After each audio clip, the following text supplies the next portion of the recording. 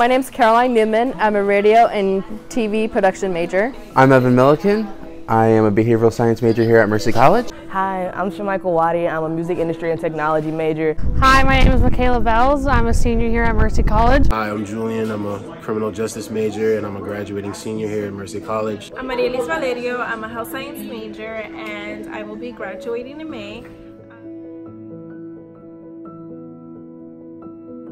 I just wanted to say thank you to my mom and dad for giving me the opportunity to come across the country to attend Mercy College. And congratulations to all the class of 2019. We did it. I'd like to thank my mom for giving me the opportunity to be able to be here. And I would also like to thank Student Life for giving me the most amazing memories and keeping me, helping me keep on track.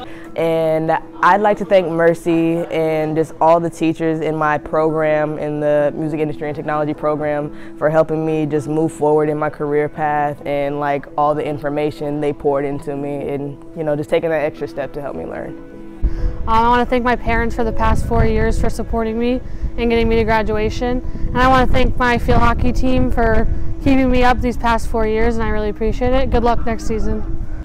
Uh, I'd like to thank Lewis Cameron, Erica Tremblay, and my PACT officer, Alina Cush, for helping me get to this point. Uh, it's been quite a journey here at Mercy, and bittersweet that it's over, but I'm glad I'm able to move on.